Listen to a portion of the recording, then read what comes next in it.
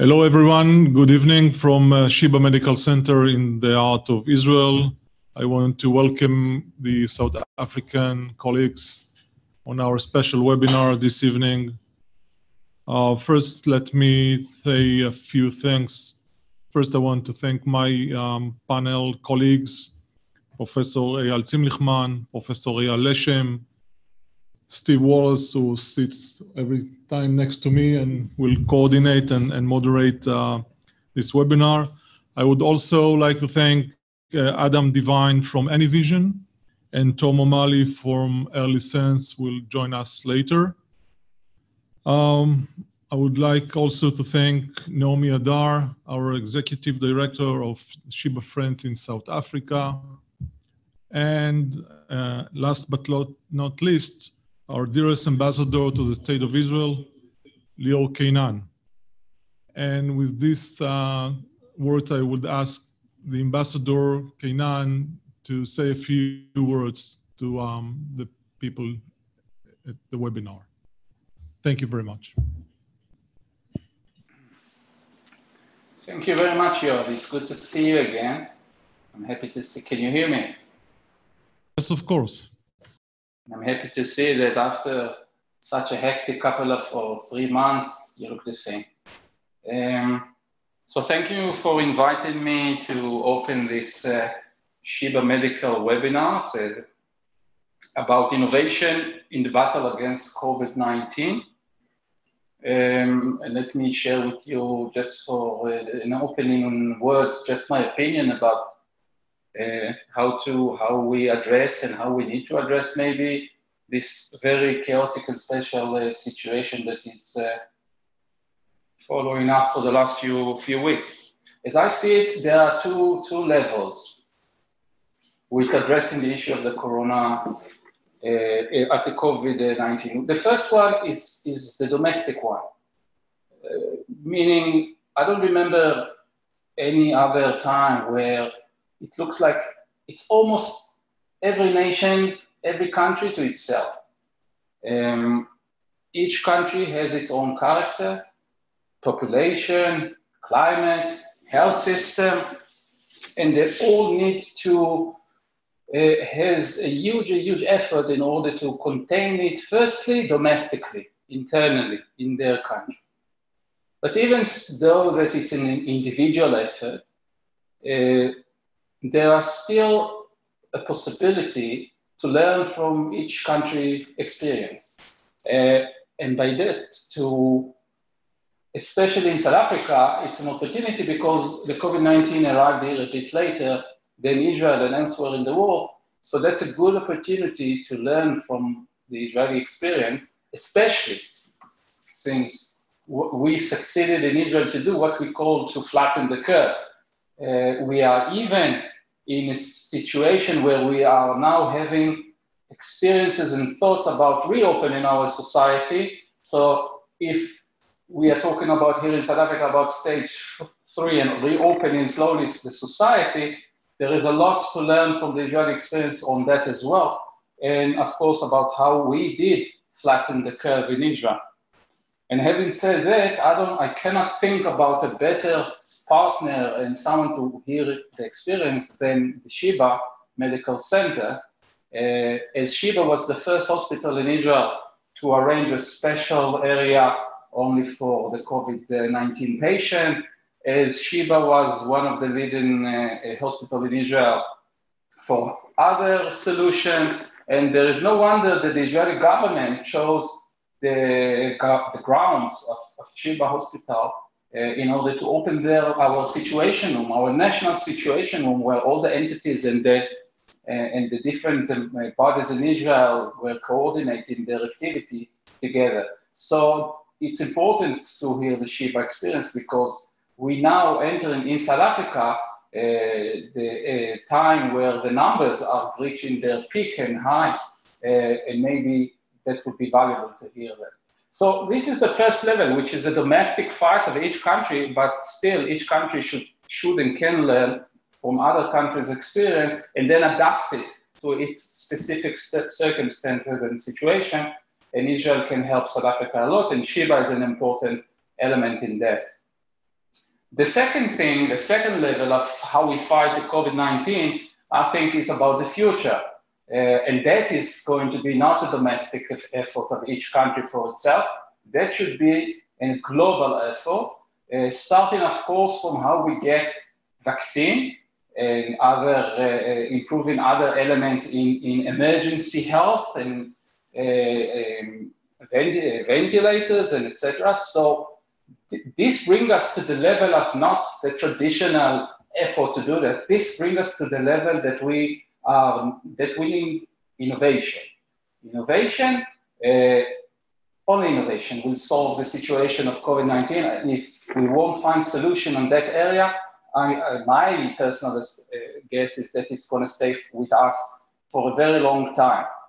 Uh, and when you talk globally and when you talk innovation, then both Israel and the Sheba Center are leader, leaders in that in that aspect and area. I don't need to repeat about the Israeli uh, capabilities in, in, in, innovation. We do miracles there, and uh, I also uh, was very much impressed to see how Sheba is now a leading uh, a leading hospital, not only in Israel but acknowledged also by Newsweek as one of the top uh, ten hospitals in the world. And I was impressed to see how you are having now a hub for innovation inside the hospital and all that, that all elements can sit together and find solution. And what's more relevant than finding a solution to the COVID-19 with all the challenges that it puts ahead of us. So here, also domestically, the experience that Israel and Sheba had in order to flatten the curve, but also the future, how this global and all the countries are joining together in order to let innovation lead the solution to this situation. Otherwise, it will stay here for, for many more months with us. So let me uh, congratulate, first thank you Nomi and thank you all for inviting me to open uh, this webinar. Uh, I want to use the opportunity to apologize as well that I will not be able to stay long, too long, uh, but I look forward for, to hear whatever you have to say. Thank you.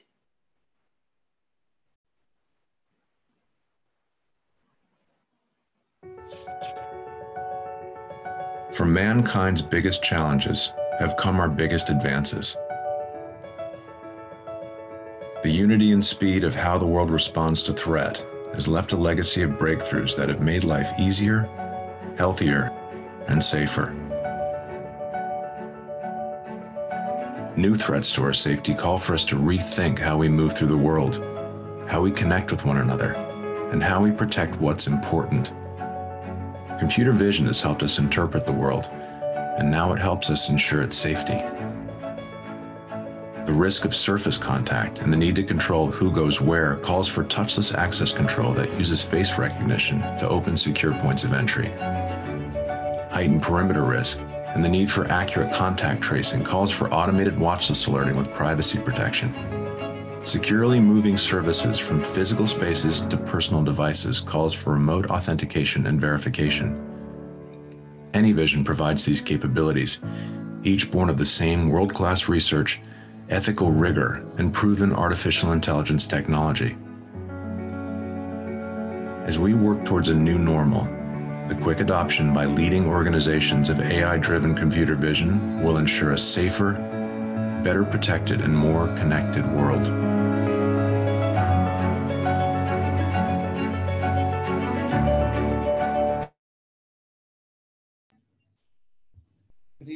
Everyone. You just got a taste of one of the technologies that we will speak about tonight that has been integrated uh, into uh, Sheba Medical Center. Uh, as part of the battle against COVID 19. Uh, I first would like to introduce our two panelists tonight uh, Eyal, Professor Eyal Leshem and Dr. Eyal Zimlichman, who will take us through the whole battle of COVID 19 that uh, I believe that we have battled COVID 19 to a draw at this point, but the war is not far from over. So let's start with Professor Eyal Leshem. Please. Yeah, um, good evening. Um, first of all, it's a pleasure to speak with a South African crowd. I had the opportunity to work in South Africa with the National Institute of Communicable Diseases in Johannesburg, investigating an, another viral outbreak when I was on my fellowship at the CDC in Atlanta, and I'm well familiar with the public health capacity and the medical capacity of, of uh, uh, South African uh, medical community. Um, I think the purpose of this, uh, we have about 10, 15 minutes to, for some questions and answers, and, and uh, um, we received some questions in advance. Um, and uh, I think we'll be happy to receive any additional questions on the chat. If there's anything that's, that's uh, more relevant, I will uh, let Steve interrupt and add.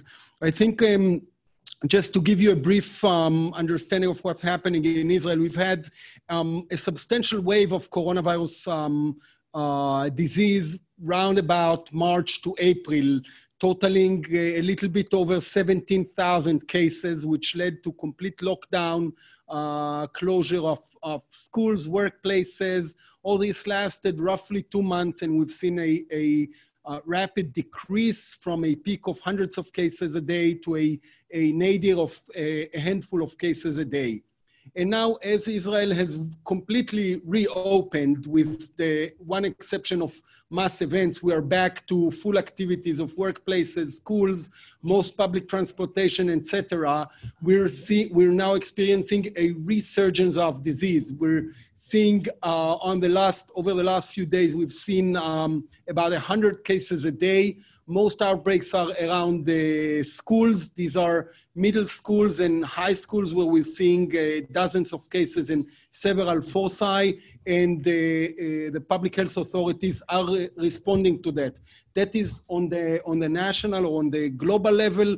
Right here in Sheba, we've treated about uh, 500 cases um, roughly 100 severe cases. So we, we were the largest treatment center in Israel and we've gathered most experience. We've um, started several coronavirus intensive care units and used uh, extensive technological means, which you will hear uh, a lot about later, to treat these patients and to protect staff. And uh, we can say we've had a relatively good success rate with uh, treating patients and uh, salvaging uh, even very severe cases.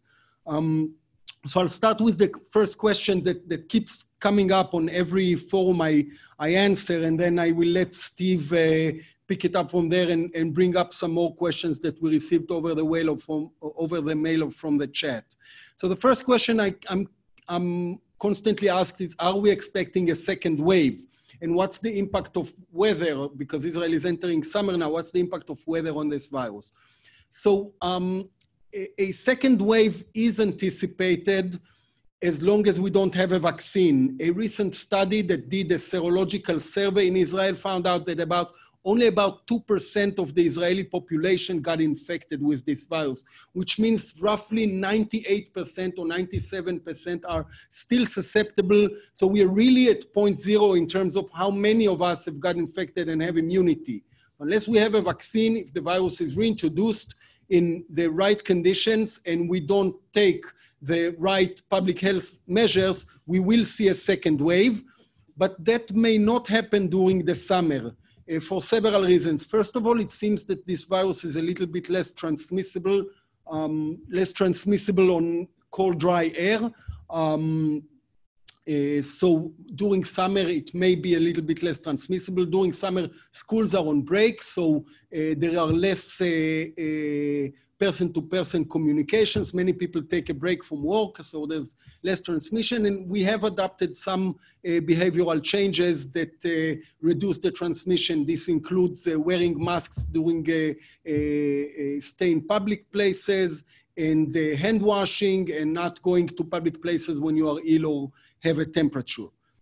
so the bottom line is we do expect to see some flare-ups some local outbreaks in schools, everywhere where there is person-to-person -person contact, and, uh, and uh, we know that some people that are asymptomatic may transmit the virus. We can still see local outbreaks and some level of transmission, but if we are expecting a second wave, it may happen later during fall or even winter.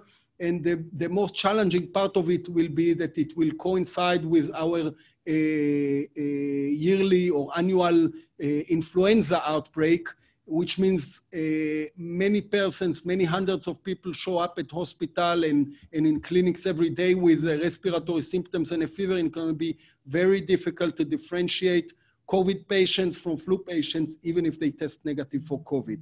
So I'll, I'll let Steve pick it up from here and see what, what other questions are interesting for our crowd. I'll shoot another question back at you before we uh, let uh, Eyal Zimlichman actually show people how we attack this virus from a technological point of view.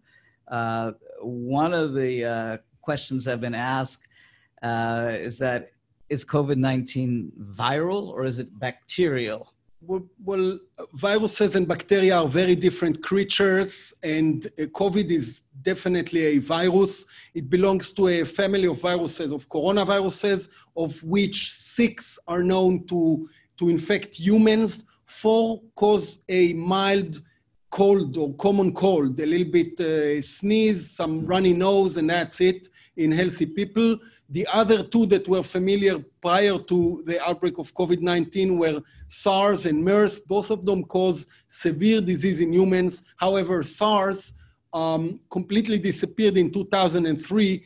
Nobody really knows why. Probably very effective uh, public health measures and uh, uh, a little bit less communicable than COVID 19. MERS is still circulating, however, much less infective than, than uh, COVID 19 over. Um, oh, the, there wasn't a second question. So the, it is viral, yeah. It is, so it is viral. Uh, one more quick question for you. Uh, regarding uh, the fact that you know South Africa is dealing with a, a mega wave uh, right now. Yesterday, the statistics said 32,700 cases, uh, 683 plus deaths. What did we do differently here in in dealing with this. And Eyal Zimlichman will, of course, talk about the telemedicine part. But do you think that uh, there's a different mentality in the way we approach dealing with national disasters like this, as opposed to uh, other diseases that we deal with here and other countries that have been dealing with the coronavirus? Yeah, absolutely. First of all, we don't want to compare South Africa to Israel. Israel has a population of 10 million. South Africa is Um, 50 million, so five times. So South Africa still has a much smaller population. However, some regions of South Africa do suffer from poverty, um, KwaZulu-Natal has, or in other regions have very high rates of immune-compromised persons, persons living with HIV, which is a different population. So it's, it's very difficult to compare our situation with the situation in South Africa. However, I will say, as I mentioned earlier, that I'm well familiar with the public health uh, and the, the uh, authorities and the National Institute for Communicable Diseases. And my hope is that, the, that uh, South Africa will be able to learn from the from the lessons that were were uh, that other countries have taught us and implement these basic public health, very cheap, simple public health measures to control the outbreak spread, which are, you know, where, where there's a substantial increase in cases, you really want to enter lockdown, you want to monitor the disease locally and identify these um, foci, foci of outbreaks. And if there's a, a, a, rapid increase that's national, then really enter a, a, a curfew of a few, a couple of weeks, which will enable the disease to die down um, otherwise, the medical system in South Africa will be overwhelmed as it was in, in richer countries. Uh, thank you very much, uh, Professor Leshem, for your insights. I'd like to move to Dr. Eyal Zimlichman, who basically uh, created the, the ultimate uh, innovation center here in Israel, the ARC Innovation Center. And within the ARC Innovation Center, was the uh, dawn of the telemedicine program, which basically uh, created a lot of buzz around the world uh, for its unique battle against the COVID 19 uh, virus. And so, Eyal, if you want to uh, take our, our friends in South Africa through what we call uh, COVID 19 battle, ARC style, the floor is yours. Thank you, Steve. Um, and um, I do want to sh- use the next uh, 20 minutes or so to run through some of the innovation that uh, we've started here at Sheba during the COVID 19 uh, uh, period here in Israel. Um, I will start with a few words about Sheba Medical Center, just to make sure everybody who's on knows uh, a few facts about Sheba. Sheba is uh, the largest hospital in Israel. It's also the largest in the Middle East. Um, it's large by any international standards. It has about 2,000 beds, which is how we measure the size of a hospital. 150 different buildings, 24,000 cars that come in every day. We see about 1.6 million patients every year. So the numbers really uh, are talking about a very large institution, not just in terms of, uh, of uh, uh the uh, operational capacity, also in terms of our physical capacity. As you see here in this photo, it's all on one campus, which is quite a big campus on the outskirts of Tel Aviv. Um, in terms of quality, Sheba was voted uh, this year, just a few months ago, by Newsweek as the number nine hospital in the world. This is a great achievement we're very much proud about. It's the second year actually because Newsweek started um, um, ranking hospitals just in 2019. We came in as number 10 last year and we went up a spot to number nine this year. And Newsweek has been, have been looking at a lot of, uh, um, of metrics, including quality, uh, research, and also innovation, which is what I'm going to share with you right now. Um, at Sheba, we have our ARC uh, innovation program. A few words about ARC. Uh, ARC has started was started about three years ago, but we, we, officially launched it uh, only six months ago in a large uh, uh, event we had here in Israel.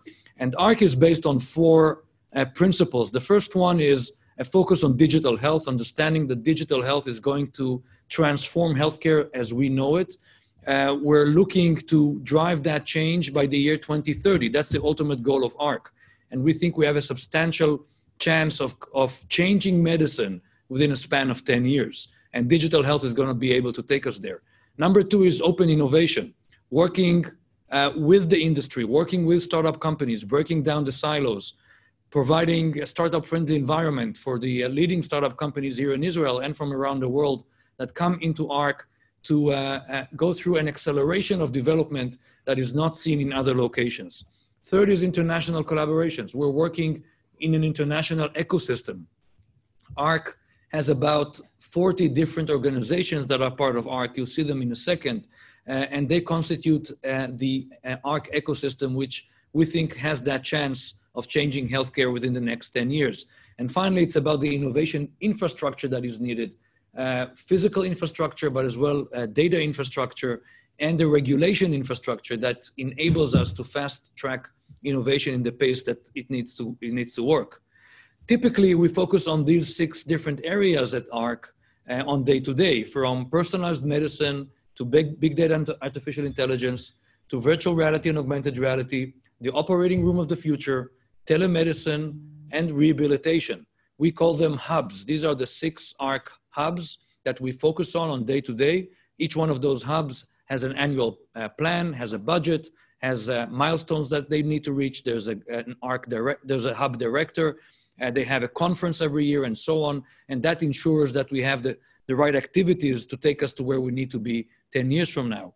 When we talk about the ARC ecosystem, these are all the organizations that are part of ARC. It's not just about Sheba. Sheba might be at the center of this, but we're talking about international collaborations with the leading academic medical centers from around the world, corporate strategic partners, small companies like Microsoft and Baxter and Boston Scientific and Johnson & Johnson and others, uh, the leading startup companies, and the academia here in Israel that work very closely with us. So together, this ecosystem is what's going to reshape healthcare as we know it something happened to us uh, towards the second half of February. We started seeing our first COVID patients, and uh, we went into this new uh, environment, which was completely strange to us. Nobody thought that we would be in this new environment, and it took us all by surprise. The first question we had to ask ourselves was Is innovation essential or non essentials in times of crisis?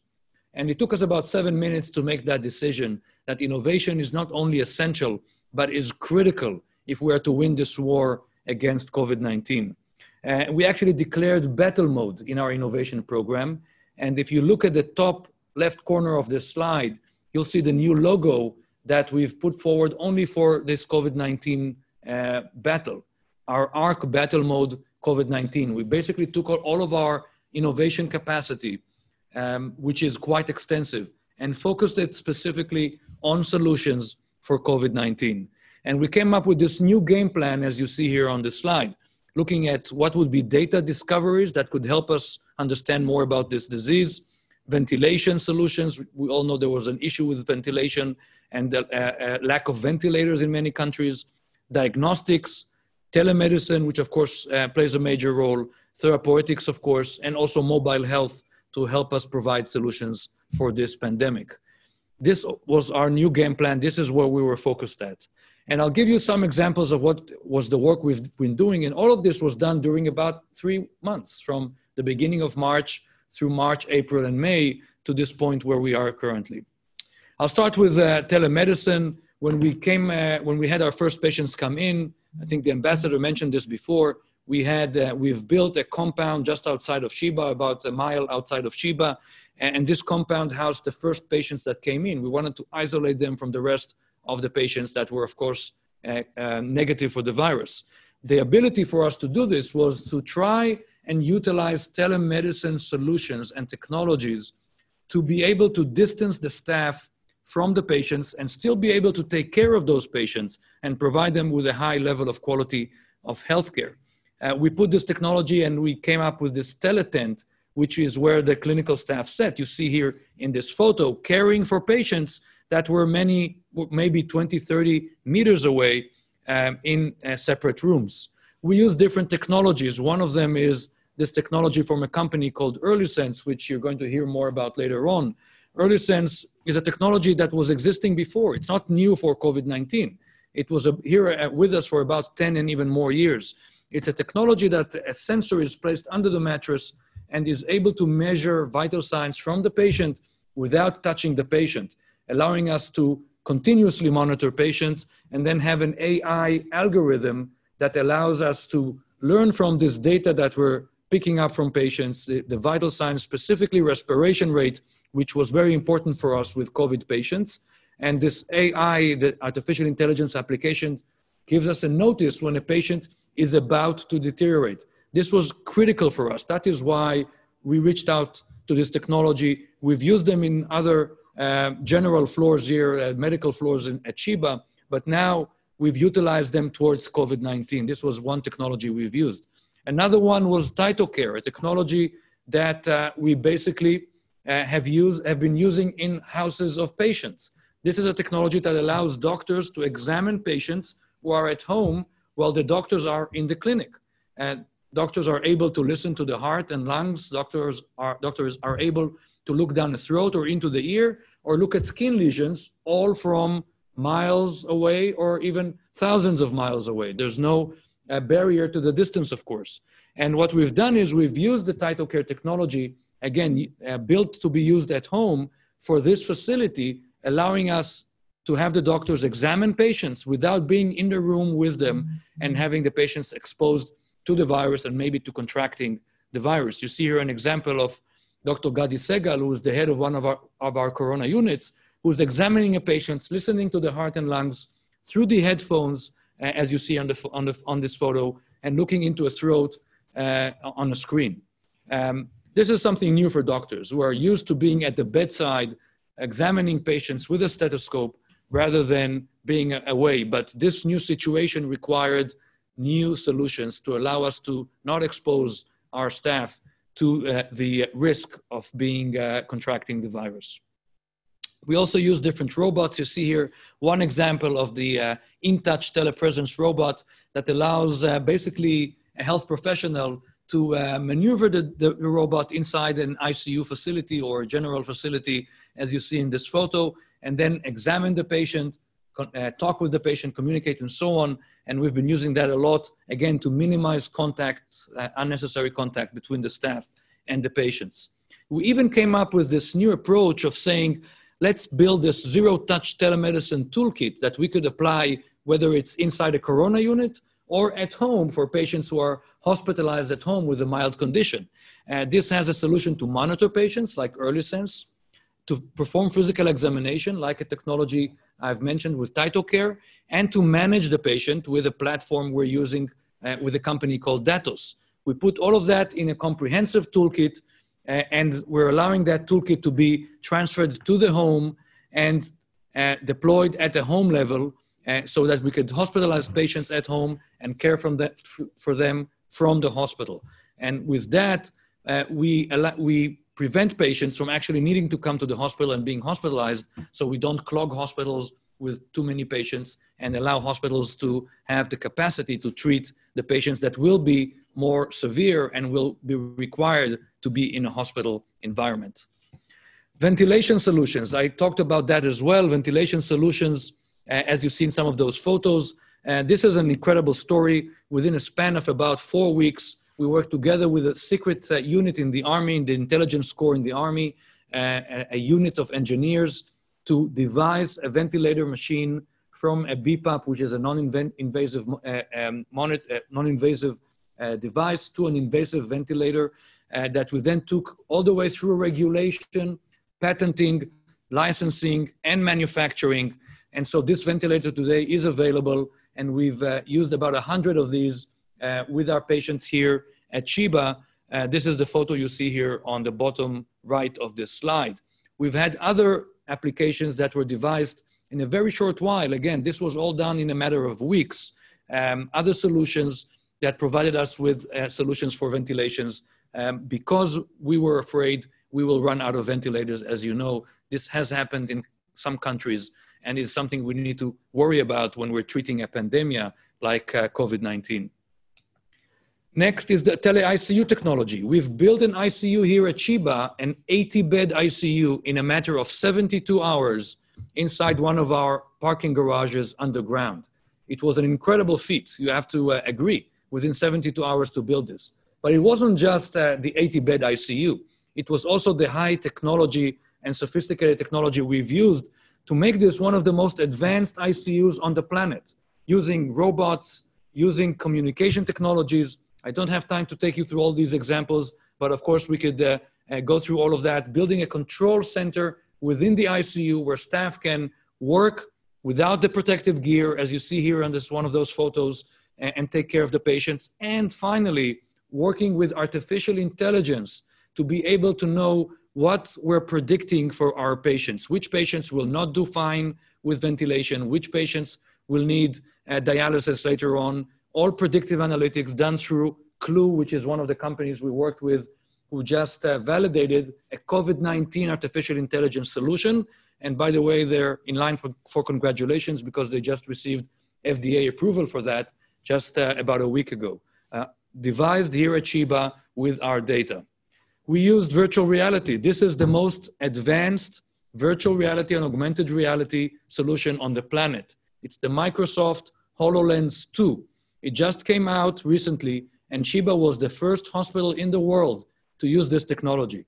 We've used it for many uh, use cases, also for remote teaching, where you need to teach uh, uh, somebody who's inside um, a, a, um, a COVID uh, unit and remote guidance. For example, if somebody needs to manipulate a ventilator or some other technology, you have somebody who guides them through the virtual reality glasses, through the HoloLens, and that has been incredible. Microsoft was very much happy with the level of, uh, of uh, interaction we've had with this, um, with this new technology.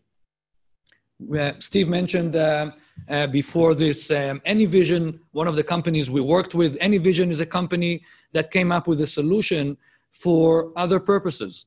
What they were doing is using artificial intelligence on video footage on surveillance cameras to identify faces. This was uh, originally developed for defense uh, um, solutions. Any of you that have seen the uh, Fauda, the, uh, the uh, um, show on Netflix, have seen this technology in use. We have actually utilized the same technology, the artificial intelligence with facial recognition, to be able to identify contacts within the hospital for a possible transmission of the virus. And I'll give you a short example. If we have a staff member who uh, was tested positive. We want to be able to understand who was else in contact with that staff member. What other staff members were in contact with him, spoke together, ate together lunch, uh, and could have contracted the virus. Instead of doing the inquiry manually, where we have infectious disease nurses perform this over 48 hours, it's not an easy task to perform this type of investigation. We are now using artificial intelligence that within seconds identifies to us, as you see here on the right side of the screen, all the people that have been in contact with that index patient who was found to be positive. That saves us a lot of time in identifying patients who potentially might have contracted the virus and need to go into isolation or to be tested for the virus. We're using it for other applications as well, but I think I'll leave it at that and maybe you'll hear more from the company later on. We've done a lot of work with data.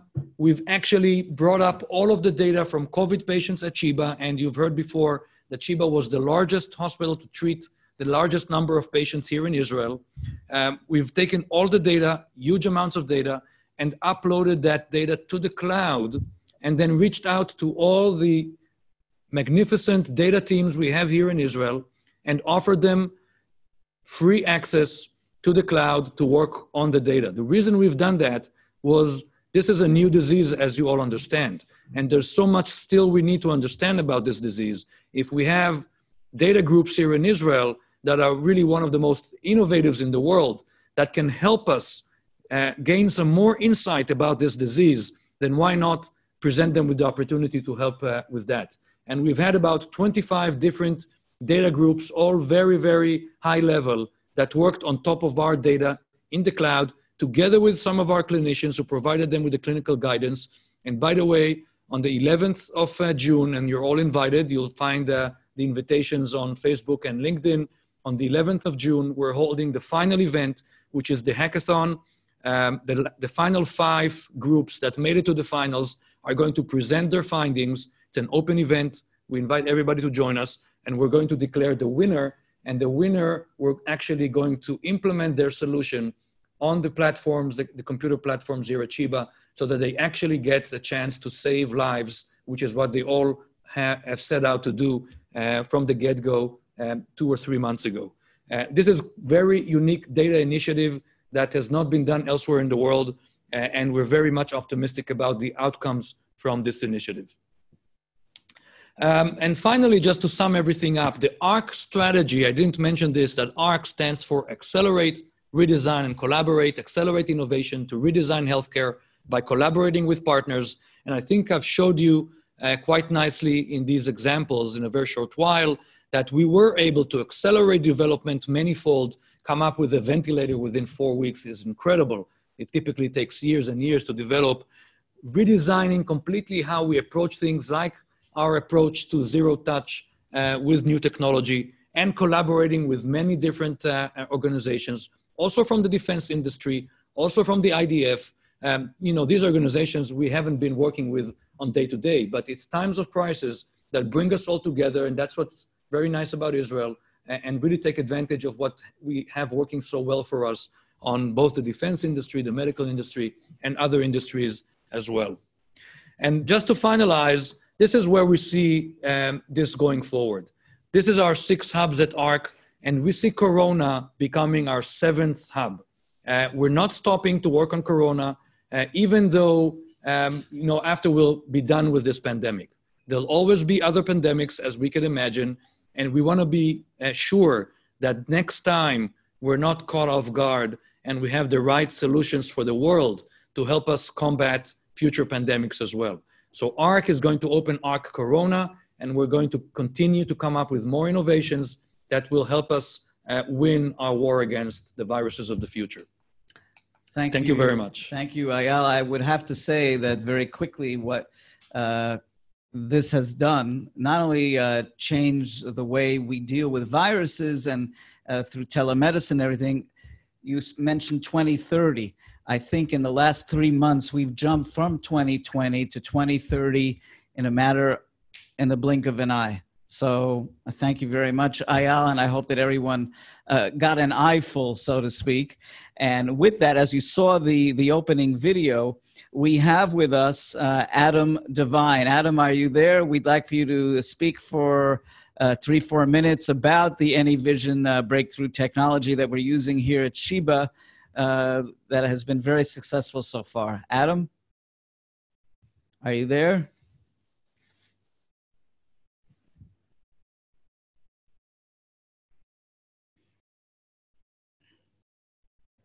If, Adam, if you're not there, we're not there. Okay. Uh, so then let's jump to the next technology. We're going to show a video of the other technology that we're using here called Early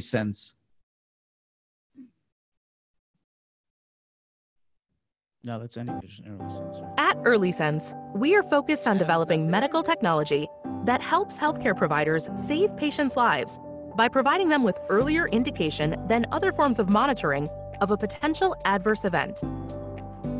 The EarlySense system has been used in hospitals, post acute facilities, nursing homes, detox treatment centers, and other currently unmonitored medical institutions throughout the world for the proactive recognition and intervention of clinical deterioration, falls, and pressure injuries. Facilities using the EarlySense system throughout the United States have reported improvements in clinical outcomes. The FDA cleared EarlySense system is comprised of several components, beginning with the sensor. The EarlySense sensor is placed underneath the patient's mattress, between the mattress and the bed frame, or in an in-room chair. The system does not require any leads or wires to be attached to the patient. The sensor is able to continuously monitor heart rate, beats per minute, respiratory rate, breaths per minute, and motion, with clinically proven accuracy as compared to industry gold standards. EarlySense offers two bedside unit options for facilities the EarlySense 2 and the Insight. The EarlySense 2 monitor has a touchscreen display showing the patient's clinical parameters, alerts, trends in the room with optional continuous SpO2 monitoring capability. The Insight system does not have a screen in the room, but collects the same information. All of the clinical data is sent and monitored at the Central Display Station, CDS. A patient's clinical parameters and trends can be viewed by opening the patient's profile at the CDS. The CDS displays all patients' current heart rate, respiratory rate, motion, bed status, as well as alerts and notifications.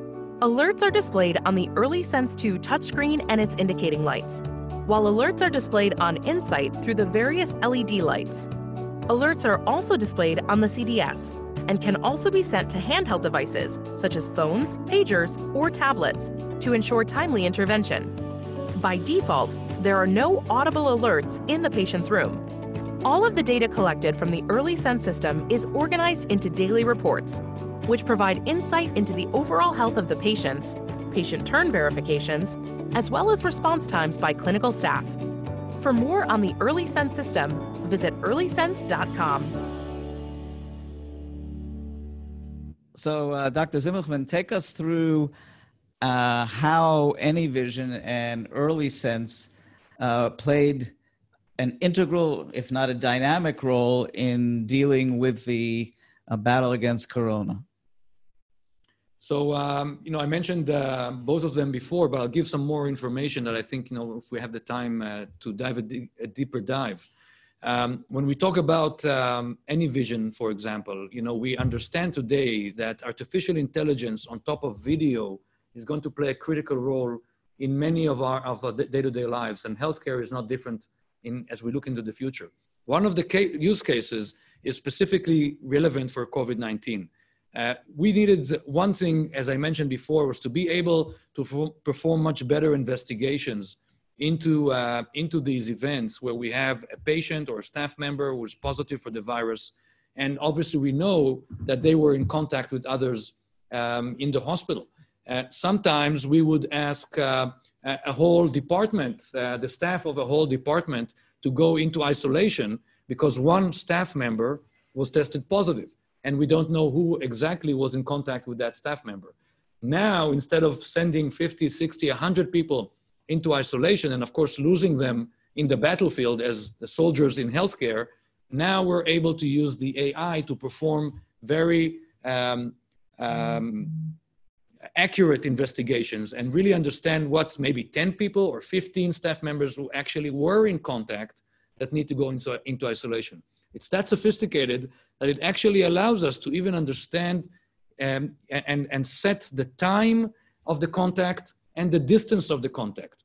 So do we want the two people who we, uh, to be a, a meter and a half away, two meters away, three meters away? What do we call contact? And how long do they need to be together? two minutes, five minutes, 15 minutes. So we can set the AI for these parameters and then get the exact information on that. The second thing we're using AnyVision for is to alert us if somebody who's coming into the hospital or coming into a unit doesn't have his mask on.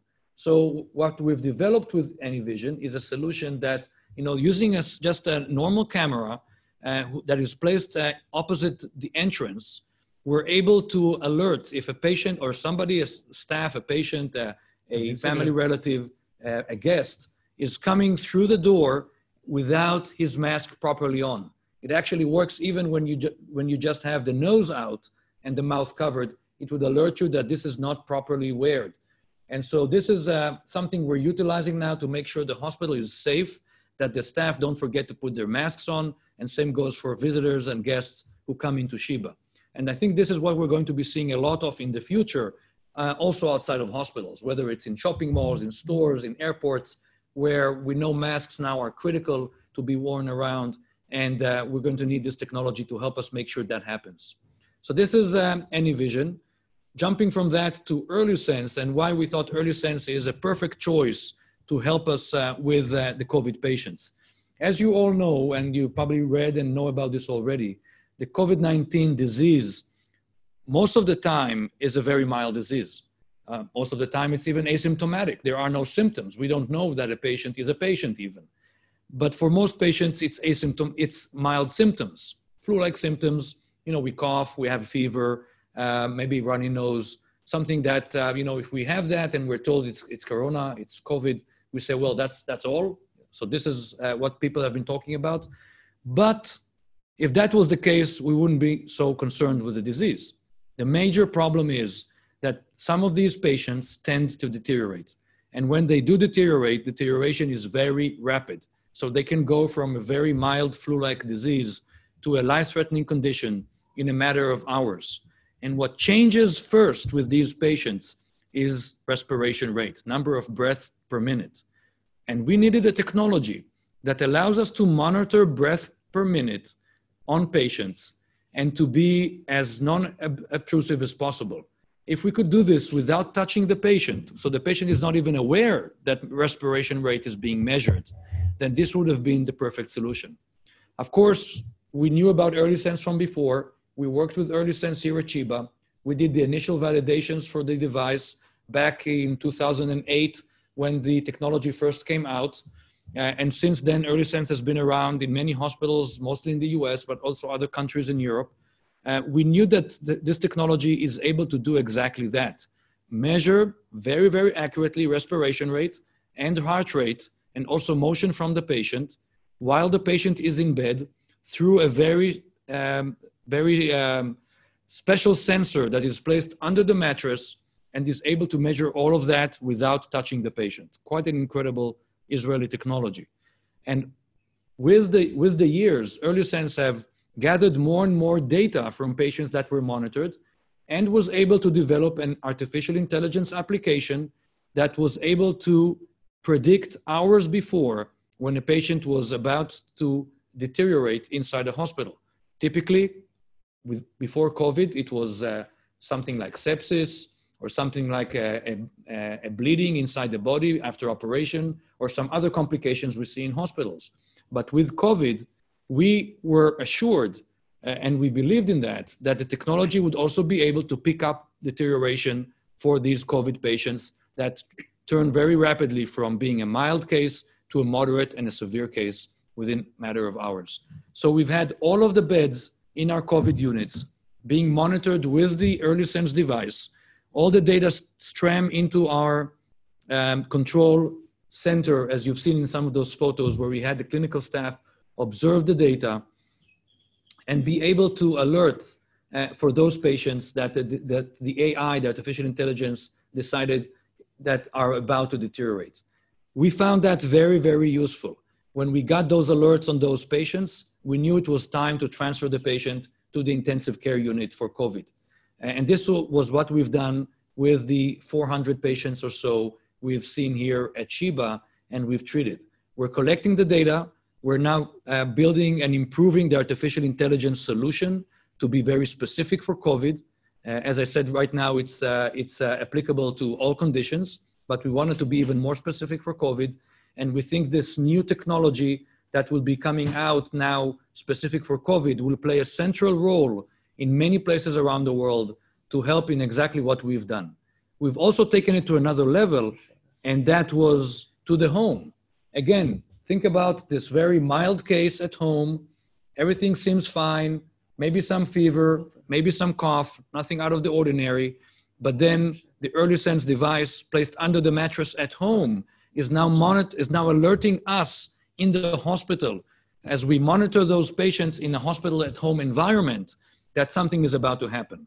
And if we do get a sense that something is happening, that the respiration rate is starting to uh, climb, that other, um, other um, uh, vital signs are starting to change, it is at that time that we want to send an ambulance over to the home of the patient, pick up the patient and bring him to the hospital to make sure that if deterioration actually happens, we have him in the best conditions possible to care for him and also uh, save his life if he goes into this uh, life-threatening uh, condition. Um, and this is what how we've used EarlySense, both in the hospital, but also outside of the hospital as part of our telemedicine Corona kit, together with the other technologies you've seen in uh, my presentation. And, we think this has a, a, critical role to play in the um, um, maybe years to come as we confront um, condition like COVID and maybe others in the future. That's exactly the, one of the main questions uh, that was sent to us, and also the things that that we've been dealing with here is that the telemedicine programs existed uh, before Corona. Uh, a lot of people don't know that Sheba was the first hospital in the world to start integrating uh, home care with telemedicine for psychiatric patients at home, for mild uh, psychiatric patients. So the bottom line is, is that telemedicine has jumped five years ahead, at least. What happens in the post-corona era and telemedicine and doctors? How will telemedicine change the relationship between doctors and their patients? Yeah, it's a great question. Uh, we, um, when we look at the COVID 19 crisis, it's obviously a crisis, don't get me wrong, but with every crisis, there are opportunities, as we know. And I tend to look at this as the quarter filled glass. I wouldn't say half filled glass, uh, because it is a tragedy what we're seeing around the world right now. But there is a quarter uh, filled glass. And part of that is telemedicine. Telemedicine has really sprung forward um, and we might be looking at this historically when we uh, when we are years away from from from 2020, uh, when we look back to actually say that COVID-19 has really been uh, a watershed a watershed event uh, to really change the tide on telemedicine. What we have seen right now, doctors that now have no other opportunity, they have no chance. They have to use telemedicine because patients can't come to them or because they want to minimize the contact with the patient. These doctors that before were um, weren't very comfortable with this technology, you know, they were saying, I cannot examine a patient who is in his home and I'm in my clinic. I have to be at the bedside. Uh, or I cannot examine a patient who's on the screen and I'm in my clinic because I have to have the physical contact. We're seeing many of these doctors now understand that it can be done. You can provide high level of care high quality of care to these patients through telemedicine technology. And also patients got to be much more comfortable with this type of technology. So as we transition out of COVID, and hopefully that happens very soon, we're going to see telemedicine stay with us. It's not going to go away because both clinical staff and patients found that it, it is something that helps us. It is something that uh, can provide high level of care it's not something that is a limitation and, and a necessity like times of COVID, but it is the new type of medicine. And we're saying that maybe 2020 is the year that telemedicine becomes just medicine. That's the transition we're going to see. Thank you, Eyal. Joel? Yes, and uh, with this word, I want to conclude our uh, webinar this afternoon from Sheba. I want to thank uh, again my colleagues at the panel, Dr. Eyal Zimlichman and Dr. Professor Eyal Leshem. Of course, Steve, my uh, first and second hand, but always standing beside me and uh, moderating this webinar. I want to thank our colleagues from the Sheba apps around the globe that's staying with us uh, for this webinar. I want to thank uh, Rabbi David Shaw, which I show I saw him uh, previously listening to our uh, webinar. The great Nomi Adar, thank you very much for coordinating, arranging uh, this opportunity to speaking to the South African uh, colleagues and friends. And last and not least, uh, Ambassador Lior Keinan for his supportive any anytime. And wish you all of you um, very good day and תודה רבה, להתראות, שלום.